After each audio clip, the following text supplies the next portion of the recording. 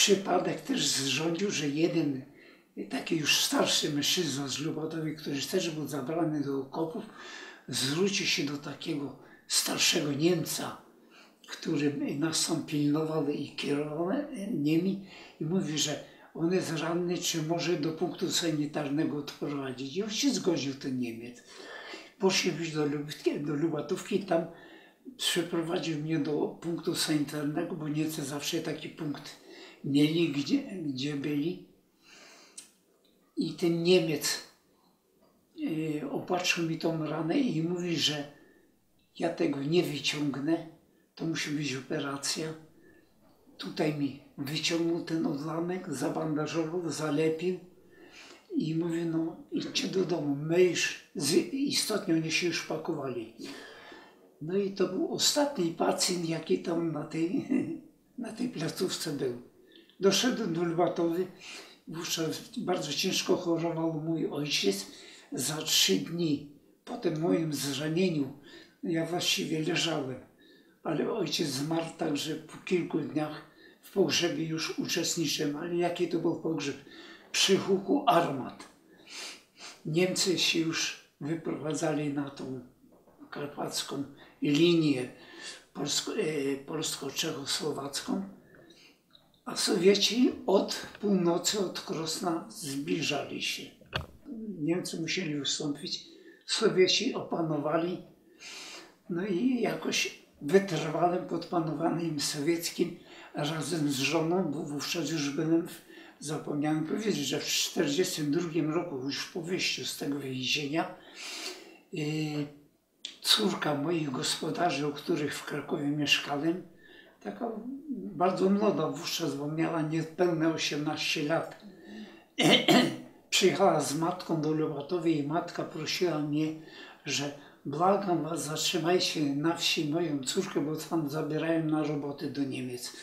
I ona była u nas, mieszkała nie u nas, bo u mnie nocował mój brat i ja. Mieliśmy taki wiejski mały dom, ale wynająłem jej mieszkanie obok.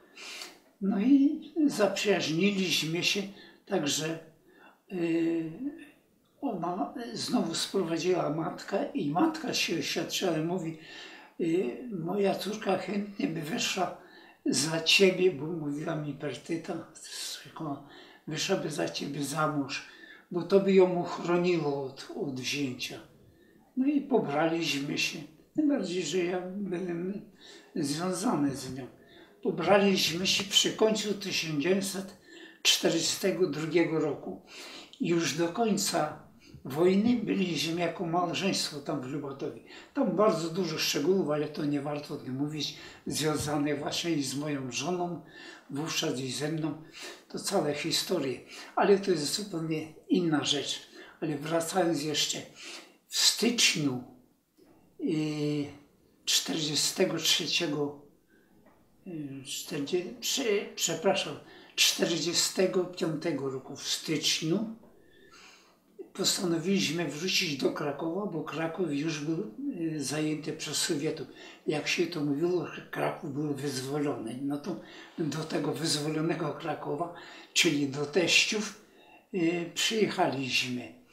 Ja się od razu zgłosiłem na akademię, bo akademia została reaktywowana. Najpierw przez, przez tego Pałusza, ale potem Pałusz już przestał być rektorem rektorem stał się profesor Ajbisz. I zacząłem kontynuować studia. Przed wojną zaliczyłem dwa lata, tak, że po wojnie zaliczono nam jeden rok, wychodząc z założenia, że każdy z nas, z tych byłych studentów, nie siedział bezczynnie, tylko coś tam malował, a więc rozwija się. I zostałem po wojnie od razu na czwarty rok przyjęty. Zacząłem również studia na Wyższym Studium Pedagogicznym, a jeszcze zapomniałem powiedzieć, e, w młodości, ale to jeszcze przed wybuchem wojny, ja nie miałem matury, ale zacząłem przerabiać i zdałem matury jako ekstern. Najpierw na akademię zostałem przyjęty jako ekstern, jako słuchacz nadzwyczajny ale mnie obowiązywały wszystkie egzaminy, miałem indeks tak inni studenci, a po zdaniu matury zaliczono mi to wszystko i stałem się normalnym studentem. No i zacząłem po wojnie studiować równocześnie, to było wieczorem, wyższe studium pedagogiczne dla nauczycieli rysunku i zachciałem iść jeszcze trzecią historię. Mianowicie zawiązała się w Krakowie szkoła przysposobienia filmowego. Oczywiście Akademii Filmowej w Łodzi wówczas jeszcze nie było, tylko w Krakowie było dość dużo filmowców, założyli tę szkołę. Ja się zapisałem na tą wieczorową szkołę. Ona została otwarta w 1946 roku, a w 1947 y, y, był taki roczny kurs, on się skończył. Wszyscy ci studenci przeszli do Łodzi i stali się drugim rokiem Łódzkiej Akademii Filmowej. Był pierwszy rok, ale tych wszystkich studentów z Krakowa y, przyjęto na drugi rok. Ja jako jedyny w Krakowie dostałem wówczas stypendium, także byłbym opłacany w Łodzi. Miałbym mieszkanie i studia za darmo, ale ja byłem na piątym roku Akademii Sztuk Pięknych. Y, kończyłem ten drugi rok wyższego studium pedagogicznego. To były pewne konkrety, a kariera filmowca była niepewna i ja zrezygnowałem. I na moje miejsce, ale to cała historia spowodowałem, że poszedł kawalerowicz Żurek, który zresztą stał się później dosyć sławnym y, reżyserem. Ale wówczas był bardzo przeciętny, ale dzięki mnie dostał się do Łodzi. No ja skończyłem akademię zacząłem, byłem jakiś czas przez jeden rok w Krakowie asystentem na liternictwie u profesora Gardowskiego ale no, trzeba było zarabiać. To była funkcja w Akademii Honorowa, nie było funduszy żadnych. Ja już w ten czas y, miałem syna, także już była rodzina, żona, syn. Już należało myśleć o tej stronie tej praktycznej. I dlatego poświęciłem się polichromiom, które przez całe życie aż do emerytury wykonywałem. Ja w życiu zrobiłem jakieś blisko setkę kościołów. Kilku w Słowenii, jeden kościół w Anglii, trzy kościoły w Szwecji, także nie tylko w Polsce. Byłem popularny, także niektórzy księża musieli czekać 2-3 lata w kolejce, bo nie byłem w stanie prowadzić tyle tych prac. A czy w Krakowie są gdzieś jakieś Pana yy, dzieła w kościołach? I tak, ale no Kraków był już, wszędzie już miał.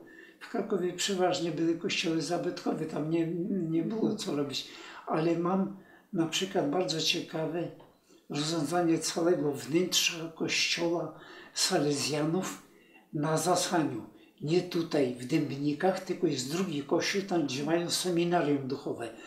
I tam do tego to robiłem wystrój całego kościoła. Polichromia to jest tam znikło. Tam są mozaiki, ile pamiętam, witraże jakieś. I to istnieje do dzisiaj. Tam gdzieś, I... tam na ulicy Tynieckiej to jest to? Na ulicy Tynieckiej to jest to? Tak. Tak. I tam w kościele, tak? Tak. A drugi kościół malowałem, to jest duży kościół, on istnieje tutaj w Podgórzu, kościół redemptorystów. I ten kościół, ale polichromia, zawsze ona się od kadzidła, od świec, ona się przybrudza. Także po jakichś 25 latach albo trzeba ją zamalować, albo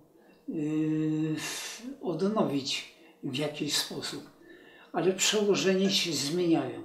Przyszli zupełnie obcy tam y, księża, y, no, redemptoryści. Oni tam o mnie nic nie wiedzieli. Bez zgody ze mną, a wówczas jeszcze opieki konserwatorii nie było, bez zgody ze mną zamalowali moją polichromię, ale zostawili y, w całej w całym kościele stację drogi krzyżowej i takie duże obrazy wykonane w mozaice, jedno i drugie. No to to do dzisiaj istnieje. To w tych dwóch miejscach y, w Krakowie mam, a poza tym nie mam. Na przykład tutaj w mojej parafii w Podgórzu w kościele świętego Józefa. Tutaj nie mam żadnej pracy. Czyli tam u redemptorystów to są stacje drogi krzyżowej, tak? U redemptorystów, ale stacje drogi krzyżowej to są na dole, ale to drobna, taka mniej taka poważna rzecz. Natomiast jest cykl takich obrazów w górze w ślepych oknach. Framugi wypełnione zamiast oknami, bo tam architektura nie pozwalała dawać okna, więc w tych ślepych framugach wypełnione postaciami świętych. I to robione mozaiką ceramiczną, nie szklaną, tylko ceramiczną. No to to do dzisiaj istnieje. A jakie Pan jeszcze inne dzieła gdzieś wykonywał właśnie w kraju, takie najbardziej... E... No ja przez całą wojnę zrobiłem bardzo dużo portretów. Zgłaszała się do mnie przy Iwonicz II uzdrowisko, ono było czynne. No to wiadomo, że w czasie wojny pobyt w takim uzdrowisku był dużo kosztowniejszy jak dawniej. Więc przyjeżdżali jacyś zamożni ludzie, którzy jakoś ustawili, ustawili się wobec Niemców, że mogli istnieć. No to żony, e, przeważnie żony czy dzieci tych kuracjuszy iwonickich, niech się dowiedzieli, że w Lubatowie obok, bo to było niecałe 3 kilometry do Iwonicza Zdroju, i że tam istnieje taki zdolny malarz, który robi portrety, więc przychodzili. A u nas była nędza w domu, nie było cukru, nie było żadnego tłuszczu i tak dalej. Więc dla mnie te zarobki na portretach były niezwykle doniosłe. Także bratu pomagałem, też dawałem. Robiłem dużo portretów. A pewną ilość pejzaży zrobiłem, ale takich z wybitniejszych dzieł to zrobiłem do kościoła w Strzyżowie w czasie wojny drogę krzyżową. To jest bardzo dobra droga krzyżowa, oryginalna. Także miałem, brałem do tego modeli. Ci modele pozwalali mi, te były grupy. Ja y, mam cykl i ta droga do dzisiaj istnieje w Strzyżowie. Strzyżów to jest takie miasteczko pomiędzy, mm, pomiędzy Jasłem a Rzeszowem. Mniej więcej w połowie tej drogi miasteczko kilkutysięczne, może teraz kilkunastotysięczne, no to to wiem, że jeszcze istnieje. I z innych takich dzieł, no owszem, znalazłoby się, wykonałem dość dużo grobów, Boże groby. Na święta wielkanocne zawsze y, instaluje się w każdym kościele grób. To czasem są skromne, czasem wystawne, ja zrobiłem taki grup w czasie wojny bardzo dobry. On do dzisiaj jest używany w Łańcucie. W Jedliczu to jest takie mała miejscowość niedaleko Krosna. W Wólce Pelkejskiej. Chyba jeszcze, jeszcze w kilku miejscowościach. Do Strzyżowa namalowałem duży obraz świętego Andrzeja Boboli. Oprócz tej drogi krzyżowej, to tyle pamiętam. No ale ostatecznie główne moje takie wartościowe prace to zostały wykonane już po wojnie. Bezpośrednio po wojnie wykonałem jeszcze w Lubatowej pomnik pomordowanych, bo tam w tych poszczególnych aresztowaniach zabrano 40 moich rówieśników, kolegów. Wszystkich rozstrzelano przy końcu wojny w Lesie Grabińskim i oni tam zostali pochowani. I egzekucja miała miejsce w 1945 roku przy samym końcu. Także ich w 1946 roku ekshumowano przewieziono do Lubatowi i pochowano w wspólnej mogile niedaleko kościoła. I nad tą mogiłą ja zaprojektowałem taki ładny, duży, monumentalny pomnik, który istnieje do dzisiaj no to to było jakieś dzieło rzeźbiarskie raczej, tam były figury rzeźbione. Ja zresztą rzeźbą e, interesowałem się, bo chodziłem na lekcję do Dunikowskiego przed wojną, który był profesorem w Krakowie. Potem się dopiero do, do Warszawy przeniósł. Także miałem, miałem fachowe podstawy do, do rzeźby. No i w kilku kościołach też wykonywałem, wykonałem rzeźby. Ja już nie będę wymieniał, musiałbym dopiero wykaz wziąć, bo nie pamiętam. Jak się zrobiło prawie setkę kościołów, to już się to wszystko miesza i nakłada jedno na drugie. No ale najważniejsze prace, jakie przed wojną wykonywałem, to były właśnie polichromie. Dużo mozaik, dużo z grafita stosowałem, płaskorzeźby. Także niektóre realizacje to są ciekawe, no ale to jest taki oddzielny e, temat. Ale czy pan sam wpadał na to? Proszę? Pan sam wpadł na to, żeby. Pan sam miał jakieś wizje, czy panu mówiono, co ma pan zrobić konkretnie? Nie, ja zawsze sam opracowałem tematykę, robiłem projekty. Projekty musiały być przez kurię zatwierdzone i uzgadniałem wcześniej z księdzem, czy ma jakieś konkretne życzenia. Ale księża jak to księża.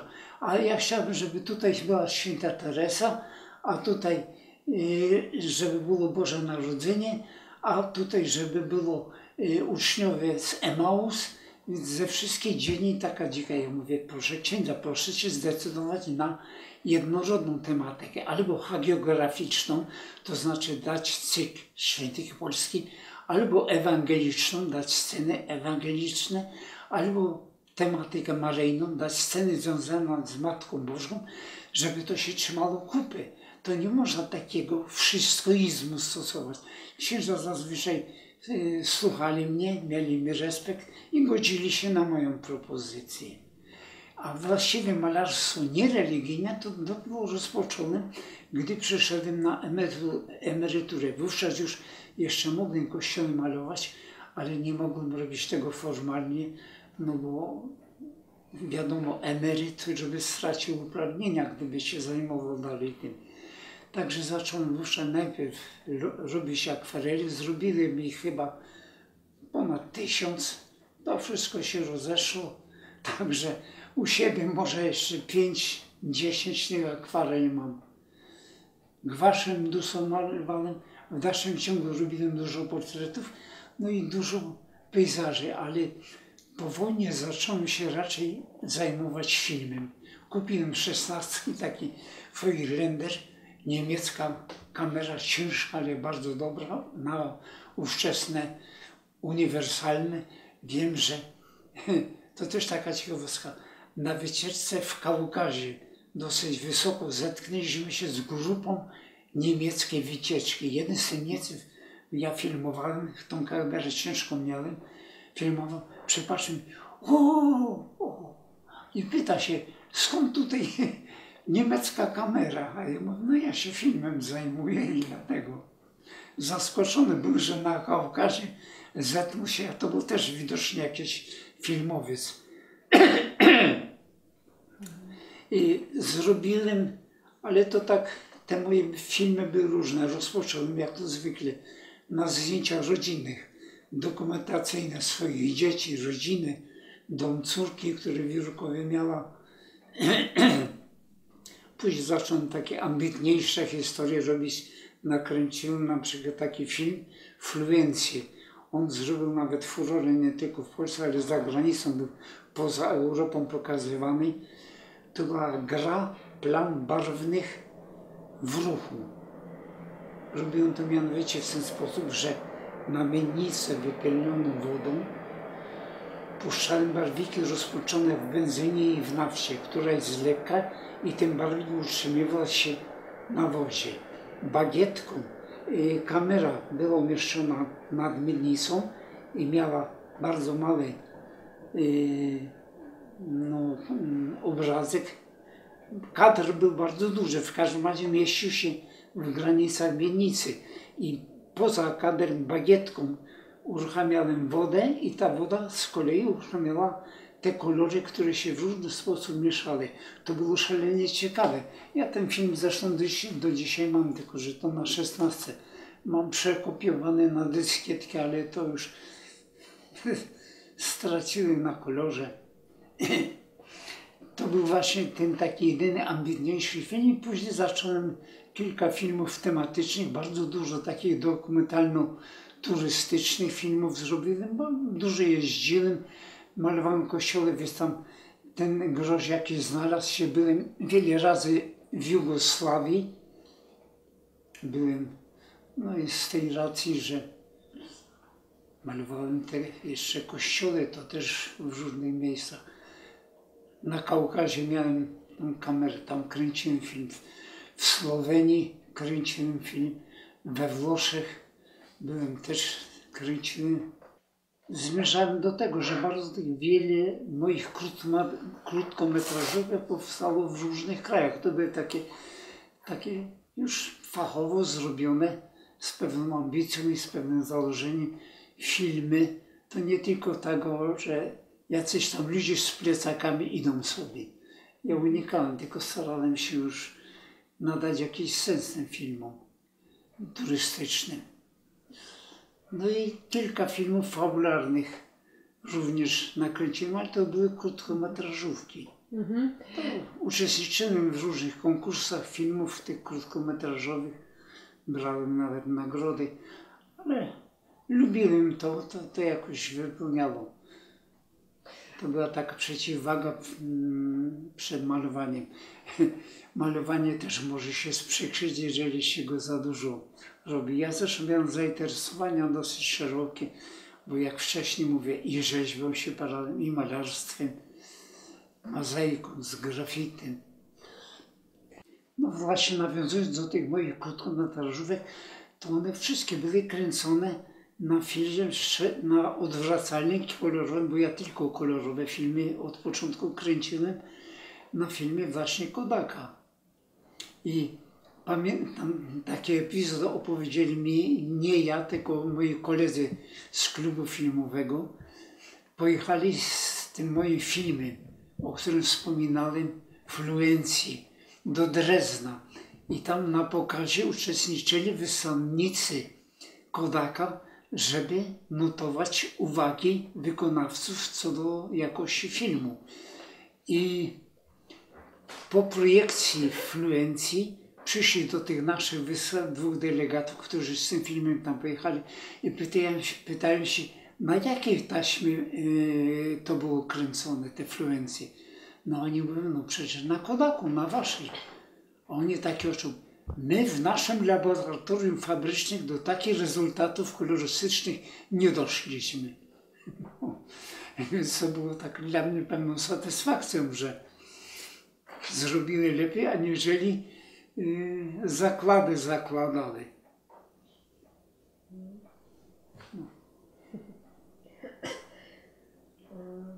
A czy w telewizji, czy w telewizji też gdzieś Pana filmy były puszczane? Tak. Tak? I te fluencje, ale nie tylko fluencja, ale to ja w tej chwili nie potrafię ani uruchomić w czasie, bo to w różnym czasie, ale ja miałem wówczas na Krzemionkach byli jeszcze moi znajomi, Jeziorek, Rida, yy, Kwinta Krzysią był operatorem, ale w każdym razie to byli moi bliscy znajomi, więc było łatwiej tam e, jakiś swój materiał umieścić. Ja, to znaczy oni się zawsze zwracali do mnie. Nie ja, tylko raczej oni. Ale ostatnio ja przestałem po prostu filmy kręcić, bo już prawie że 7 lat mam wadę wzroku, więc nie potrafię już patrzeć w oko kamery. Malować, bo mnie się to powiększa, to kalectwo. To na początku jeszcze malowałem dość dobrze pejzaże a w tej chwili no to, to już bardzo trudno przechodzi. Muszę się posługiwać, jakie to malowanie, malowanie przez lupę. Lupę trzeba mieć tutaj. I musi się mieć nos blisko płótna czy powierzchni obrazu. I zas, zasłania tę lupa. I jeżeli tą lupę usunę i, i staram się pędzel, to pędzel znów zasłania ten obiekcik mały.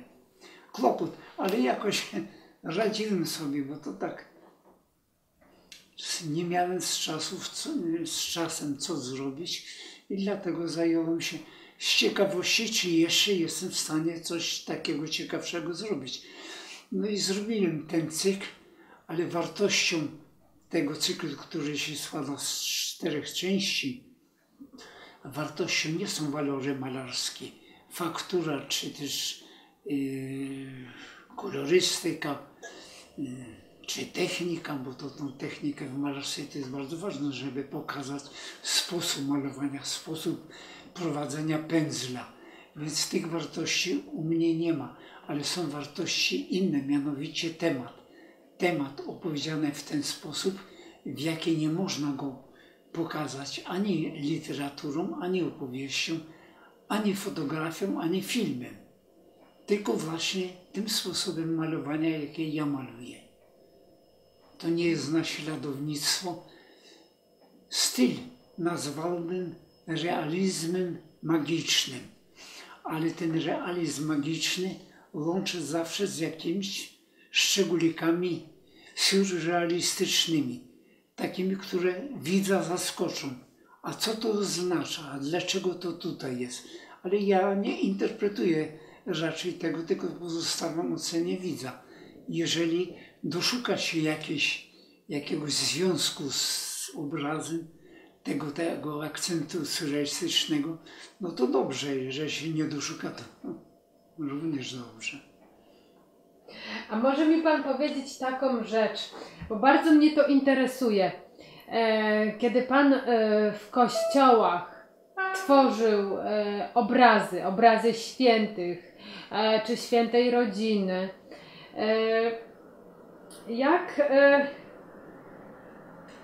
jak to, jak to, czy, czy to była tylko praca, czy to też miało wpływ na Pana wiarę na przykład? Czy to malarstwo zbliżało Pana do Boga, czy to była tylko praca? Proszę Pani, zawsze trzeba mieć jakieś wewnętrzne przekonanie do tego, co się robi. Gdybym tego przekonania nie miał, no to oczywiście nie zajmowałbym się w ogóle polichromiami, tylko inną sztuką. Ale no, jak Pani wspomniała, miałem brata księdzem, z tym Y, stanem kapłańskim byłem od y, czasów Akademii silnie związany.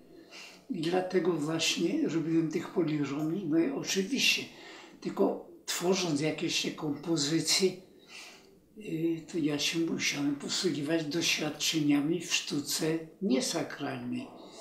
No, musiałem, czasem modele musiałem sobie brać jeżeli scena religijna wymagała jakiegoś takiego bardziej realistycznego opracowania, musiałem sam jakieś studia przygotowawcze robić, projekty, w których człowiek dochodził i wybierał później to, co wydawało mu się najkorzystniejsze. Także do wszystkiego tego należało mieć przekonanie, więc gdybym był ateistą, to chyba Mm, trudno by mi było stworzyć jakiekolwiek dzieło religijne. I tak się zastanawiam, czy. Yy, no, Czy tak jest? W, po prostu, kiedy malarz maluje obraz religijny, to czy nawiązuje jakąś relację z Bogiem taką wyższą? No widzi Pani, to się... no, Trudno jednoznacznie odpowiedzieć na takie pytanie. Ja nie jestem mistykiem. Brat Albert właśnie był, został zresztą świętym, to wiadomo. Także ja nie mogę utożsamiać swoich przeżyć z przeżyciami, jakie miał brat Albert, malując jakiś obraz religijny. Tam pewne rzeczy wspólne były, ale tego się nie da dokładnie zidentyfikować, jakoś określić słowami.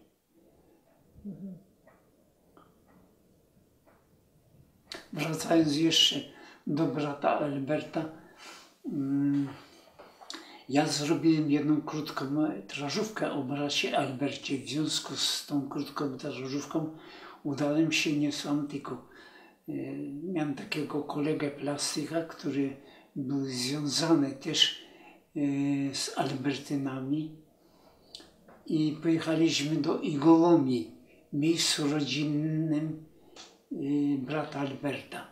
I tam jako ciekawostkę powiem Pani, ksiądz nam udostępnił księgi metrykalne, gdzie był wpis y, urodzenia brata Alberta i tam wykryliśmy, że w tym spisie, w tej chwili nie pamiętam, ale data urodzenia brata Alberta różniła się o jeden rok.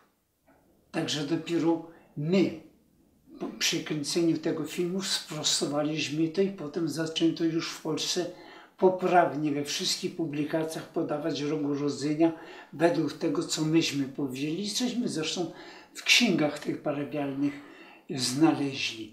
Ja nakręciłem ten film e, jeszcze, bo byłem również na Kalatówkach, tam gdzie ten dom Albertyni mieli jeszcze przed pożarem. To były historyczne rzeczy. To była ta cela, którą zajmował brat Albert. Bardzo dużo takich tych historii autentycznych. Potem to wszystko zostało spalone podczas pożaru. Oczywiście Albertyni yy, odbudowali to, ale ja na filmie miałem te rzeczy, te autentyczne.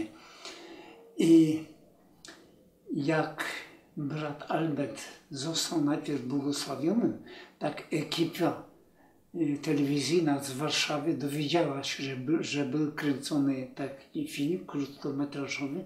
Przyszli tu do mnie i prosili, żeby im uprzystępnić ten film. A ja miałem tylko, kręciłem na szesnastce na tej taśmie kolorowej w jednym, jedynym egzemplarzu. Nie miałem żadnej kopii. I ten egzemplarz jako takie wotum, jako, jako mój dar, przekazałem ówczesnemu przełożonemu Albertynów yy, tutaj na krakowską. I oni to mieli ten film. Zresztą ten ówczesny przełożony, jakkolwiek prosty człowiek, bo to nie byli księża, tylko bracia Albertyni. On doceniał to i bardzo był wdzięczny. Ale w międzyczasie czterech przełożonych się zmieniło. I jak ekipa razem ze mną pojechaliśmy do tych Albertynów i ja mówię do przełożonego, że prosimy o wypożyczenie nam tego filmu, jaki ja swego czasem. On taki oczywiście, no jaki film? Ja o żadnym filmie nie wiem. I ja mu tłumaczę, że przy, w, tym, w tym roku taki film zrobiłem i przekazałem tutaj. A tutaj nic nie ma, to te wszystkie śmiecie, jakie były na strychu, ja kazałem wyrzucić. No i to tak za brata, za życia brata Alberta.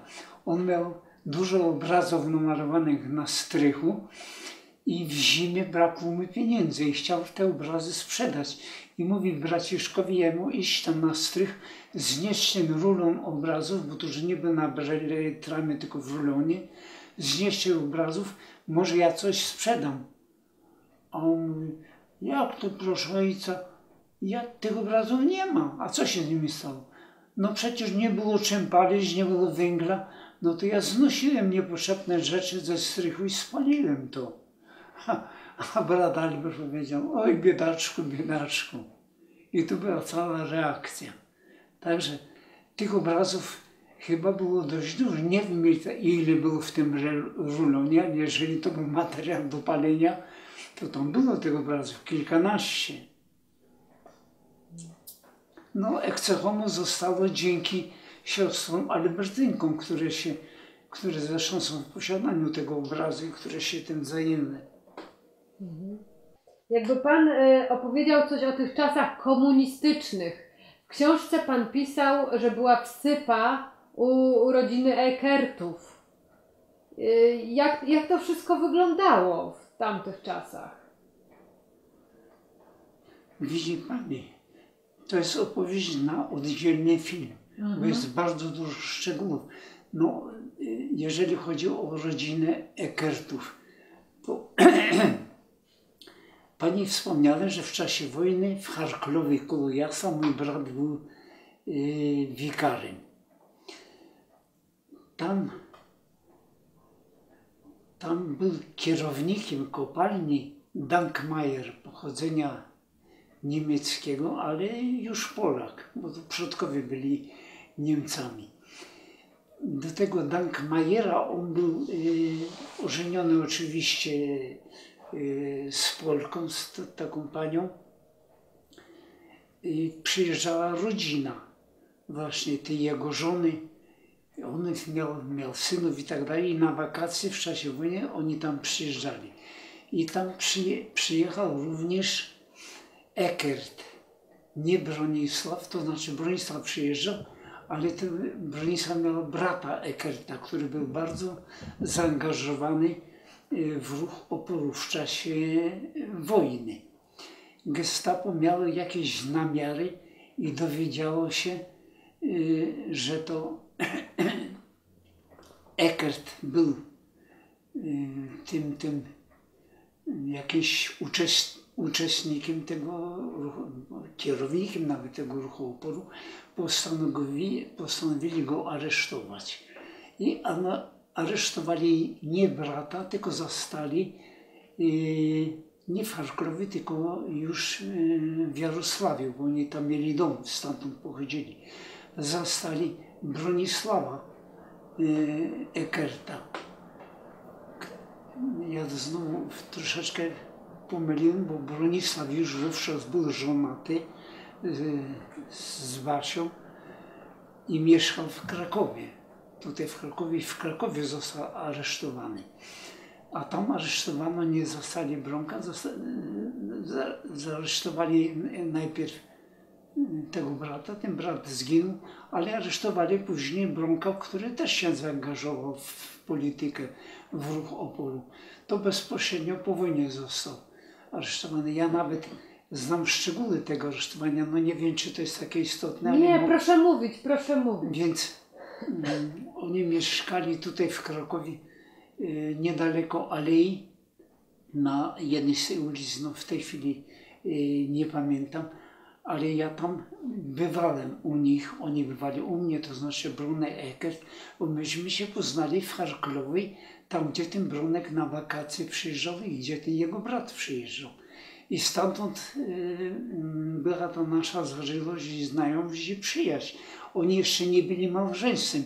On właśnie w Charkowej poznał się z Basią, która pochodziła y, z rodziny Dankmajerów, mianowicie y, pani Dankmajerowej bratanica czy siostrzenica, też tego nie wiem. Także to, wszystko było po- powiązane. Więc y, na imieniny Basi ja namalowałem piękny, oryginalny obraz świętej Barbary i ten obraz już nie, nie zanosiłem sam na, na Loretańską, tak się ta ulica nazywała w Krakowie. Tylko brata mojej żony, taki Władek, miał kilkanaście lat, taki chłopak, więc dałem mu, dałem adres i, i kazałem ten obraz w, Wigilię imienin Basi y, na początku grudnia, kazałem zanieść. A tam był już kocioł, Bronka już aresztowano i założono kocioł. Nie wiem, czy pani wie, co to jest. Kocioł to jest tak, wewnątrz zamknęli się ubówcy i ktokolwiek do tego mieszkania przyszedł, to mieli zamiar otworzyć, puścić go, ale nie wypuszczać go już stąd. Więc ten kościół był założony dwa dni przed imieninami. Więc tam już było kilkoro ludzi przypadkowych, ale znajomych Ekertów, którzy się tam w mieszkaniu z, z tego znaleźli. I Władek jak przyszedł, został y, zatrzymany tam. Oni przynosili żywność tym zatrzymanym, za pieniądze oczywiście tych zatrzymanych, ale tam było zwykle dwóch ubowców, jeden zostawał z rewolwerem przy drzwiach, pilnował, żeby którykolwiek nie wyszedł, a drugi szedł te zakupy robić. No i więc jak u nas w domu Władek nie wrócił na wieczór, tak moja teściowa, a matka tego Władka zaniepokojona mówi Stasiu, no trzeba coś zrobić. On poszedł prawie po południu, tyle godzin, co się stało, trzeba się tam zwrócić. A ja wiedziałem, że są robione te takie te zasadzki i mówię, zaczekajmy jeszcze, jeżeli do jutra nie pójdzie, to ja jutro postaram się zrobić jakieś kroki. Faktycznie ten Władek na noc nie wrócił, nie ma go i ja w ten czas poszedłem do Książkiewicza, który był moim szwagrem, bo on się ożenił z siostrą mojej żony, a był wówczas wojskowym, czynnym yy, w garnizonie, ale nie UB, tylko wo- wojska normalnego, które miało stację pod Wawelem w tym hotelu. Y, Tam jest ten taki duży hotel. Nie wiem jak się w tej chwili nazywa. Y, Tam dowództwo było. I do tego generała, który dowodził korpusem krakowskim.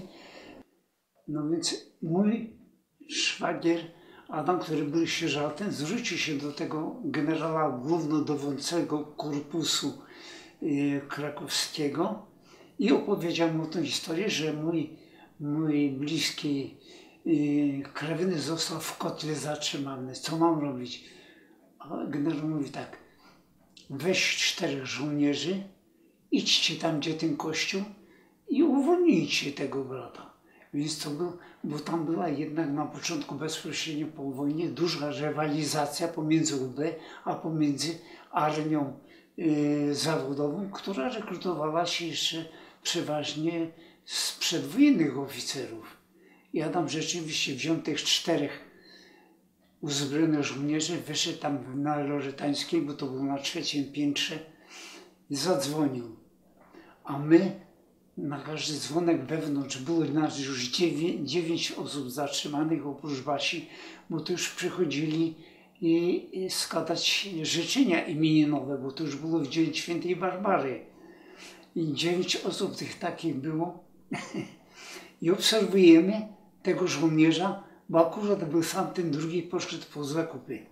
Obserwujemy i on popatrzył do Judasza, do tego i zaczynają mu nogi tak drzeć, ruszać się, bo wszystkie cztery pepesze były skierowane w drzwi. Jak on zobaczył wojskowego w mundurze i czterech żołnierzy z tymi pepeszami, tak się przeraził.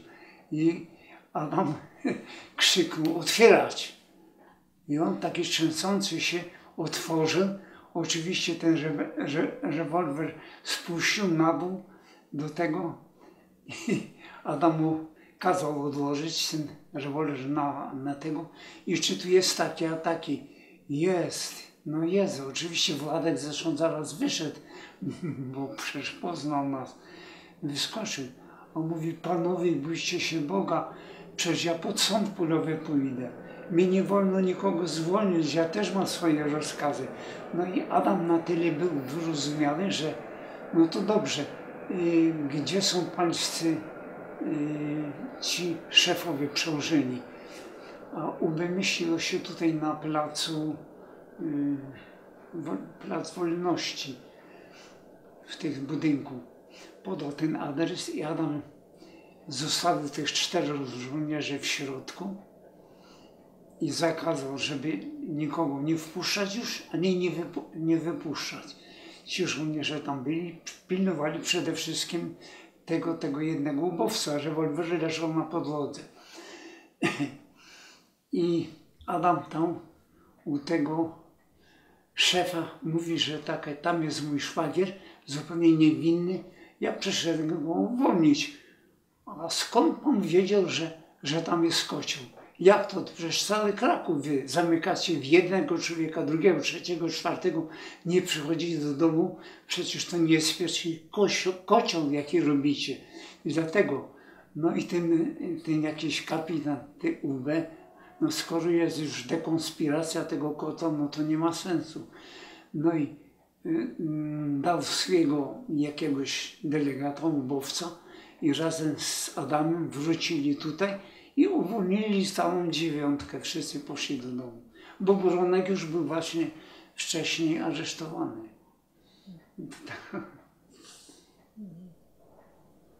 A czy miał Pan jeszcze jakieś inne przygody z władzą komunistyczną? Albo z takimi służbami specjalnymi bezpieczeństwa? Ja miałem kilkakrotnie wizytę tu w pracowni. Przychodzili y, sprzedać jakieś materiały fikcyjne, ale to byli ludzie, którzy nie umieli konspirować. Ja z miejsca orientowałem się, czy to jest ktoś, kto się zajmuje tylko handlem, czy to ktoś inny. Nieraz raz przyszła taka para, i kobieta, i, i ten. I przynieśli brąz brąz złoty to jest taki proszek złoty. Ja tego nigdy nie używałem. Używałem albo złoto w prawdziwe do złoceń, albo tak zwany metal. A brąz to, to, to w pogardzie coś. Kaloryfery się brązem srebrnym malowało i ramy.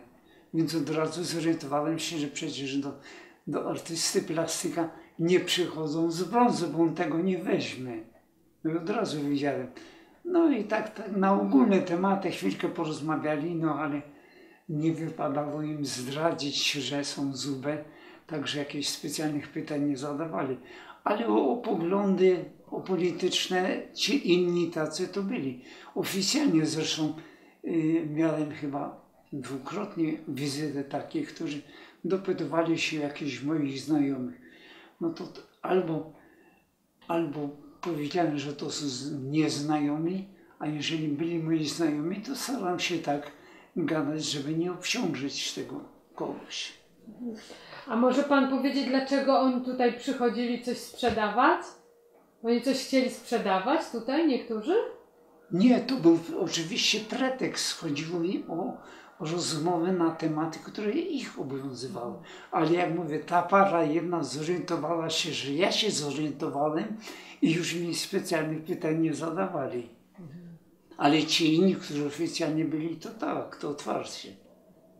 Tylko, że na mnie, ja robiłem jednak wszystko legalnie. Te prace kościelne, jakie wykonywałem wówczas, one były opodatkowane, były zgłoszone, były zatwierdzone przez projekty. W wielu wypadkach przez projekty świeckie, jeżeli dany kościół był pod opieką konserwatora, to ten konserwator musiał też wydać opinię o moich projektach. Także nie było się do czego specjalnie przyczepić.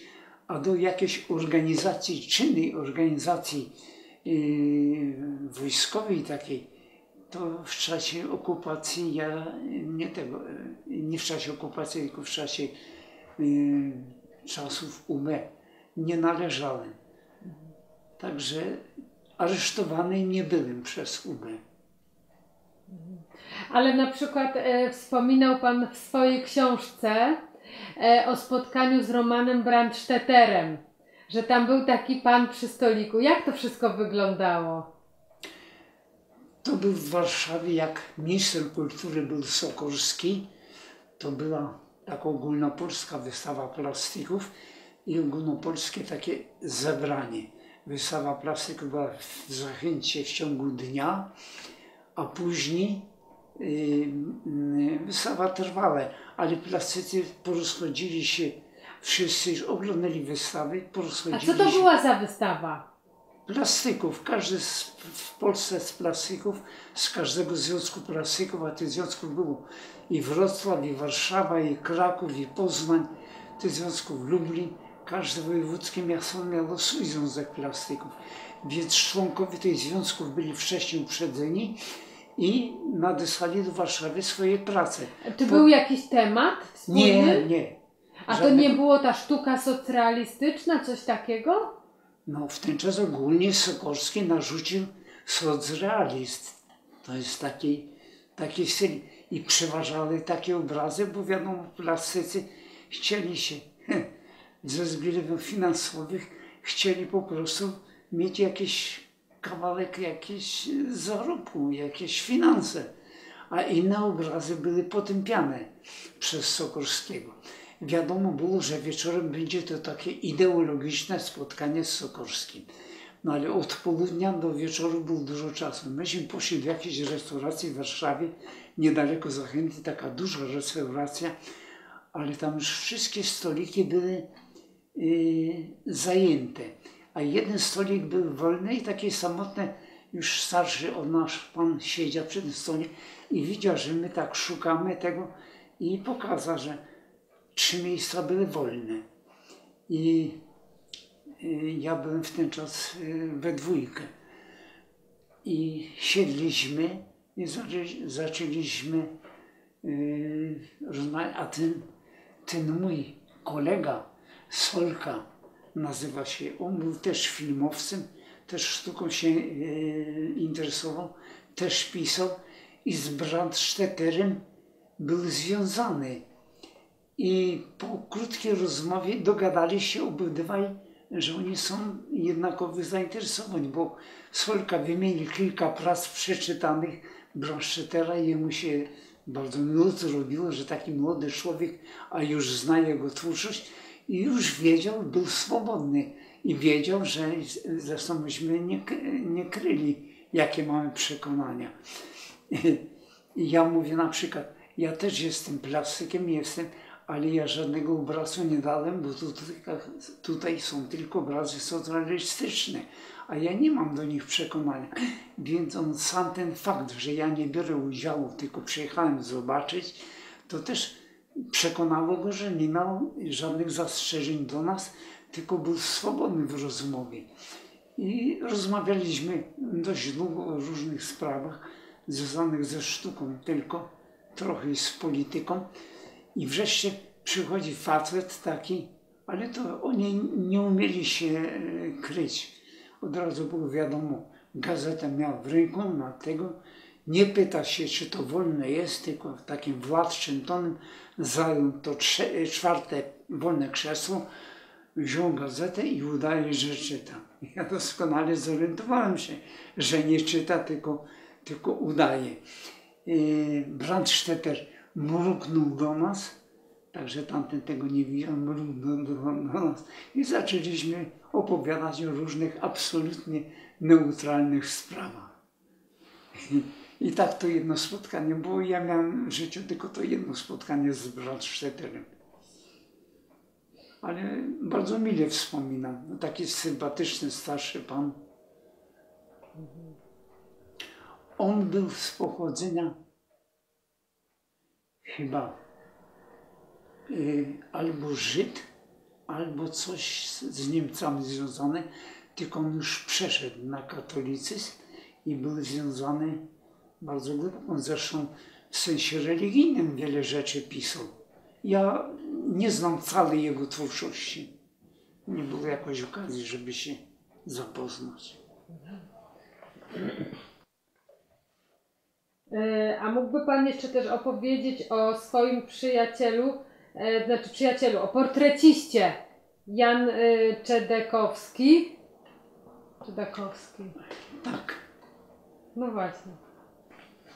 No, w okresie powojennym y, wielu Polaków już do Polski nie wróciło.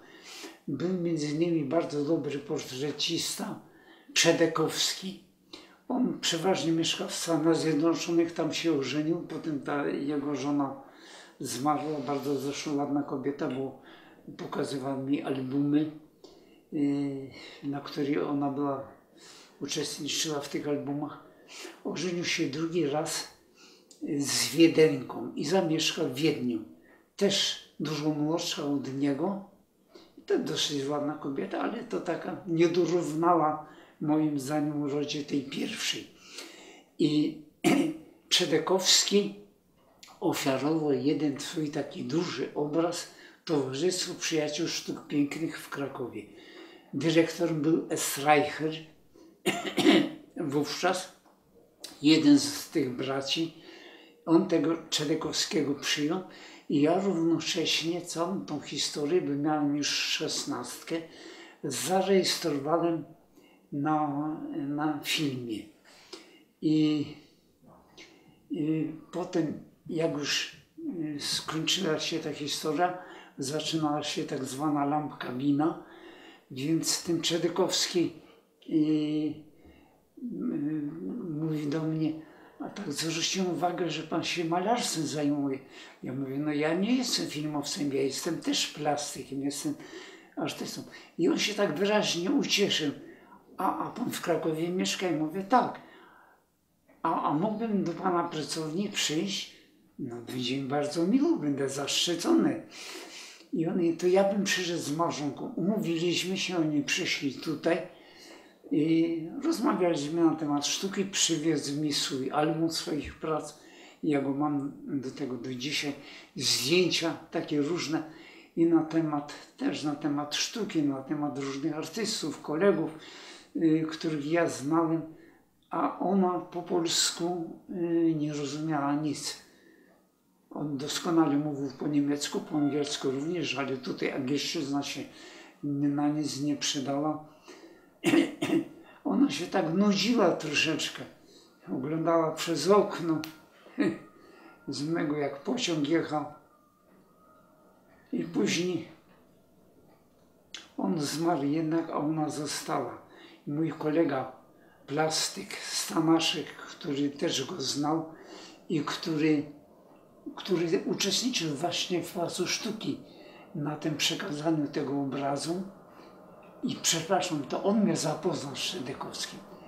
I ten Stanaszek jeździł potem do tej wdowy, ale ona bardzo szybko zaczyna spieniężać te wszystkie prace męża i bardzo szybko związała się z jakimś młodszym mężczyzną, także te kontakty urwały się. To było też jednorazowe spotkanie. Z tym, że Trzedekowski, on był bardzo znanym portrecistą. Wiele prezydentów przedwojennych, wiele książąt, bo to ich książęta wszyscy byli, portretował że był bardzo znany, bardzo wzięty. On nie mógł nadążyć nawet z robieniem tych portretów. Zresztą malował bardzo dobrze. Jego sposób malowania, on tak troszeczkę impresjonistycznie, plamkami drobnymi, podzielnięciami pędzla malował. Także ja aprobowałem jego malarstwo, ale nie chciałem i nie naśladowałem go jako jego był taki rozpoznawalny, bo po technice, po sposobie malowania można poznać autora. Potem jak malował Van Gogh, to od razu się pozna. Jak malował Cezanne, też od razu można poznać po sposobie malowania. Kossak na przykład z naszej, no to nie mieli takie szerokie pociągnięcia dużym pędzlem. No to też technika od razu zdradza autora, także Kossaka można widzieć, nawet gdyby był niepodpisany, to można, wiadomo, że to Kossak robił. Zresztą Kossak wielu obrazów ręcznie nie malował, tylko on miał kilku malarzy, studentów, on tylko podpisywał i czasem tam uzupełnił coś. A studenci malowali jego techniką, bo już weszli w tą technikę Między innymi był taki malarz z Iwańcza Zdroju, studencki się nazywał. Bardzo wiele obrazów pracowni namalował, a tylko podpisywał. Ten studencki to jest też taka ciekawa postać. Alkohol go zgubił.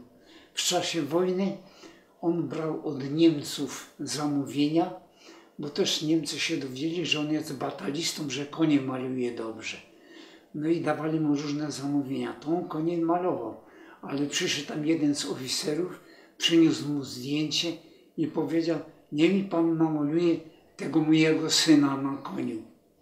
A on portretów nie umiał robić. Przychodzi do mnie i mówi, Staszek, mógłbyś zrobić mi twarz z fotografii, twarz tego, tego Niemca, bo ja mam namalować na koniu, a ja przecież ja nie potrafię dobrze zrobić portretu.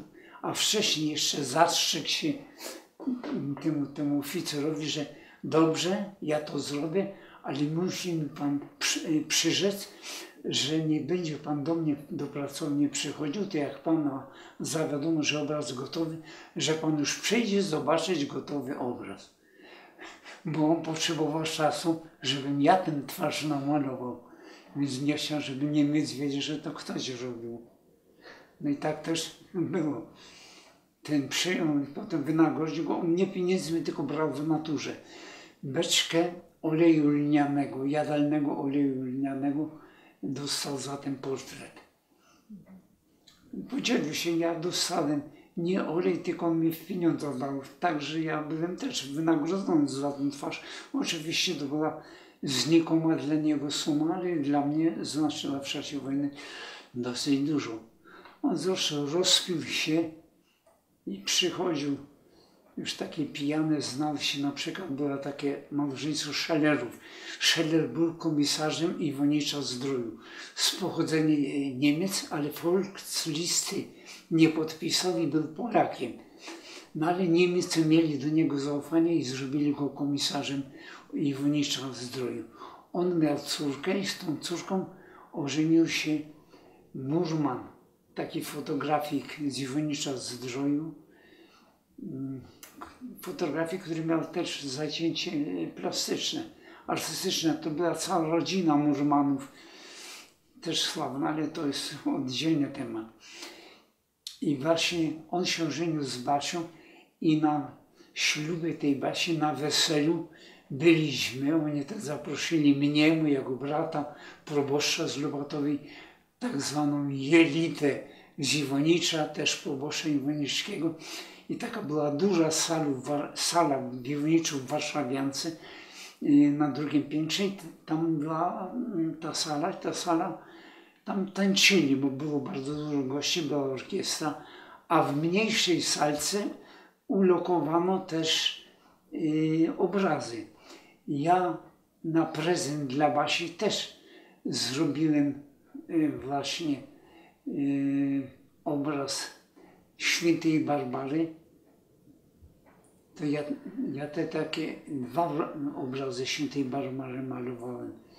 I na imieniny później Basi i na jej wesele, ale dwa całkiem różne obrazy. I, i, przepra- przepraszam, Pani coś zmienia? Nie, nie, nie, wszystko w porządku. To Pani to wytnie. Więc y, dałem ten obraz w tym pokoju, został umieszczony wraz z innymi prezentami. Był cały stół zawalony, tam były różne rzeczy, koniaki, licho, nie wie co. Między innymi ten obraz. I po pewnej chwili na tą salkę wpada ten studencki, ten malarz. Już był podgazowany i, i od razu do mnie wy, wyciągnął mnie i mówi, Staszek, czyś ty jest głupi, czy ty nie masz rozumu? Taki obraz dla, pokazując ręką na, tą, na tych wszystkich proboszczów i tak dalej, dla nich przecież oni się nie znają. Ty taki obraz dajesz.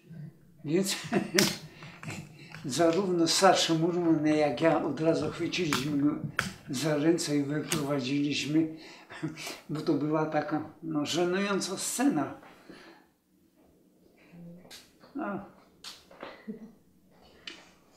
Napił się też, wypił bardzo dużo alkoholu, blisko litr i już się nie obudził. Także to było niejako samobójstwo, ale czy on miał, czy świadomie to zrobił, czy nieświadomie, tego nie wiem. Ożenił się y, jego żona, on się rozwiódł z żonem. Y, Żona wyszła za mąż za jednego tutaj faceta z Krakowa, ale oni to zrobili świadomie razem z nim. I on z Iwonicza, jak oni się pobrali, to przyjeżdżał y, tutaj do Krakowi, u nich się zatrzymywał, u tej swojej żony, y, miał taki oddzielny pokój, a jeszcze jak się mieli pobrać, to on mówi do tego z Krakowa faceta, słuchaj, uważaj, ja ci y, moją, powierzam moją byłą żonę, ale pamiętaj, że jak będziesz jej krzywdę robił, to cię krew zaleje, będziesz miał ze mną do czynienia. Ja ci pokażę. Więc masz krzywdy żadnej mojej żonie nie robić. Masz na nią uważać. Oczywiście tamten się zgodził, a zresztą wiedział z nas Sudeckiego, z tego powiada. Oddzielny temat to. A jeszcze mógłby mi Pan opowiedzieć o tej historii, jak Pan jechał e, w pociągu i spotkał tam aresztowanego żołnierza, co Panu chciał przekazać list do swojej chyba żony, prawda? Bo to też było w książce. Proszę bliżej, bo ja nie... Że jechał Pan w pociągu i spotkał tam Pan e, jakiegoś aresztowanego żołnierza. Aha, To tą historię też, jakby mógł Pan opowiedzieć. no ale tych szczegółów ja, to co napisałem, ja mogę już w tej chwili nie pamiętać, niestety Aha. skleroza ma do mnie do, e, e, postęp. Ale e, mniej więcej było w ten sposób, że jechałem gdzieś na linii Krosno-Jasło i równocześnie w pociągu znalazł się żo- trzech żołnierzy. Nie zwróciłem uwagę, że dwóch z nich było uzbrojonych, mieli karabiny, a ten trzeci był nieuzbrojony, ale nie był e, skuty. I siedzieli. i oni w jaśle się przesiadali. Ta rozmowa była między Krosnem a Jasem. W jaśle się rozmawiali i on, ten żołnierz nieuzbrojony, zwraca się i do mnie i mówi, proszę pana, mógłby, mógłby pan ten taki liścik podać, wyciągnę jakiś list, podej, podać mojej żonie, która mieszka y, w Kielcach, albo y, nadać pocztą. No bo ja mnie, mnie aresztowali za to, że kolendy y, śpiewaliśmy na święta, no i jestem aresztowany. Ale ci konwojenci, oni byli tacy, nie zwracali uwagi, że ten list podaje. Nie wolno mu było, ale wcze- wcześniej on się zapytał, czemu pozwolą. mi. Pozwolili też, że ja ten list wziąłem i później dostarczyłem w Kielcach na jednej wycieczce na Łysą Górę. Dostarczyłem tej, tej jego młodej żonie, bo był świeżo po, po ślubie. Już nie będę nic malował. Ja to wyrzucę farby, dam swojemu wnukowi. A dlaczego pan nie będzie już nic malował? Y, Ta moja wada wzroku pogarsza się z każdym dniem. Ja zauważam postęp. Wówczas będę jeszcze mniej widział, jak teraz widzę. No nie wiem, no. Może spróbuję coś zaimprowizować, no nie wiem, nie wiem. Co pan chce? To jak pani do mnie zadzwoni, no to porozmawiamy, to ja będę wiedział, czy, czy warto przychodzić z kamerami, czy nie. Mhm. Tego materiału pani ma dużo, to to wystarczy.